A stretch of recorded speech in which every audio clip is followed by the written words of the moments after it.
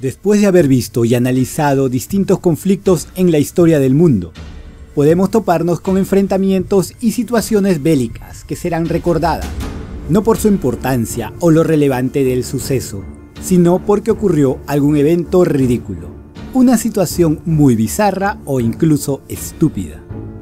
Si bien la crueldad de una guerra es de por sí ya estúpida, lo cierto es que las ciertas situaciones pueden volverla aún más. Iniciada por los caballeros teutónicos de Livonia contra los ortodoxos bálticos. La idea era obligarlos a cambiar de religión al catolicismo, y esta se libró sobre el lago helado Peipus en la República de Novgorod. Los novgorodenses vestían armaduras de equipo ligero y pelearon hasta hacer huir a los teutónicos por la superficie del lago. Las pesadas armaduras de la retirada fue demasiado para el hielo, y este se quebró tragando a los invasores. Si bien no se recomienda atacar Rusia en invierno, parece que tampoco lo es en primavera. El ejército austriaco creyó que estaba luchando contra tropas otomanas, pero era su mismo ejército. Murieron cerca de 10.000 soldados. El conflicto empezó por una disputa por alcohol, pues los húsares se negaron a compartir unos barriles de aguardiente, y eso desencadenó la confusa batalla.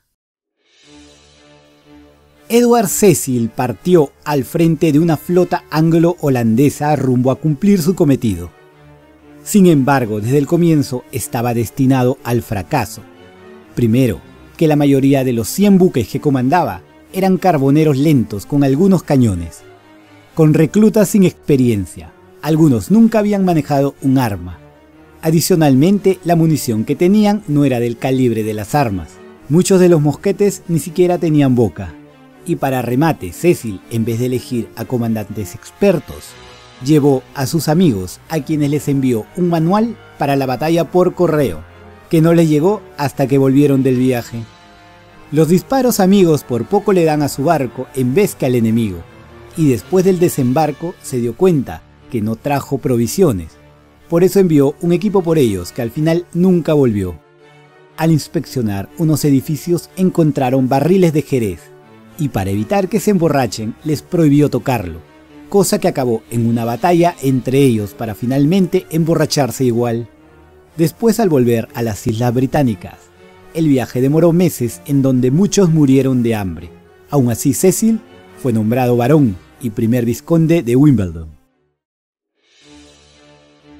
Modena y Bolonia llevaban meses de tensión y rivalidad, mientras la primera era apoyada por el Sacro Imperio Romano Germánico, la segunda por el papado. Unos soldados de Modena robaron un balde de Bolonia, de un pozo de la ciudad.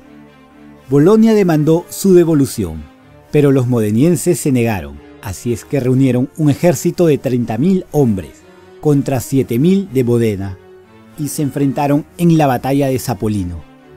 A pesar de la diferencia, Modena resistió y murieron en ambos bandos cerca de 2.000 hombres. Finalmente no se recuperó el balde y hoy hay una réplica en la torre de la Guirlandina que conmemora la victoria. También pasó algo raro aquí, pues los parlamentaristas arrinconaron a los monárquicos en las Islas Orlingas. Los Países Bajos declararon la guerra a los rebeldes, los cuales se rindieron en 1651. Así, todo se calmó, sin embargo, se olvidaron firmar un pacto del cierre de guerra hasta el 17 de abril de 1986. Por esto, esta guerra duró 335 años sin bajas.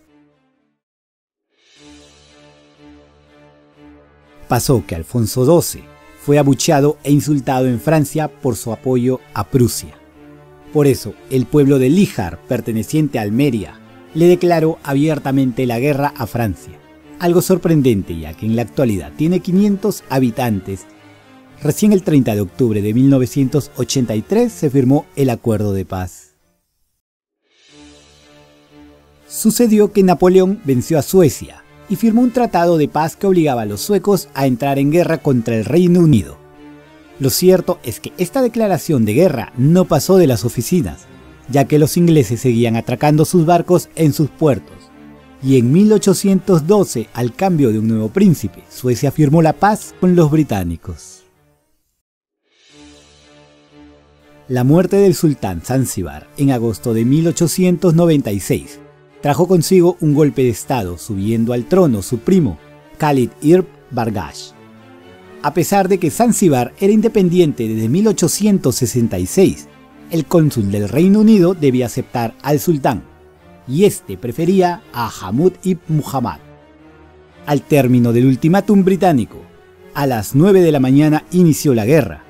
Así, a las 9.40 las tropas entraron al palacio del sultán, terminando este conflicto, con 500 bajas del sultán y solo un marinero herido por parte de los británicos. Ahí terminó la línea del sulfanato independiente.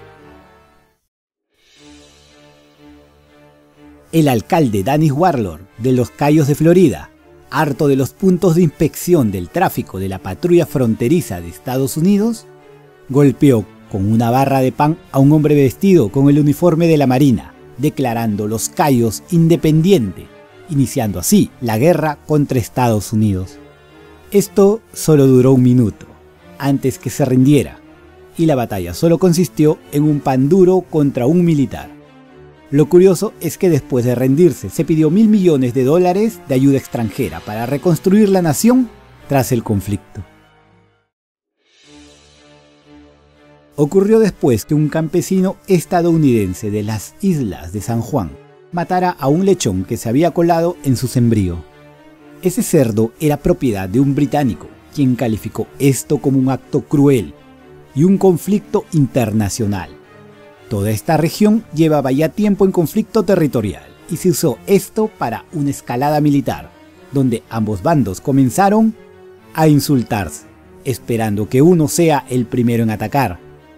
Finalmente, Washington y Londres negociaron una ocupación conjunta hasta 1872, cuando Alemania, mediante arbitraje, concluyó que las islas serían estadounidenses. Estos fueron enfrentamientos muy absurdos y hasta vergonzosos, que están al otro extremo de ser considerados excesos. Agradecemos el apoyo con el botón de super gracias que hemos estado recibiendo. Comparte este video si te gustó el tema de hoy.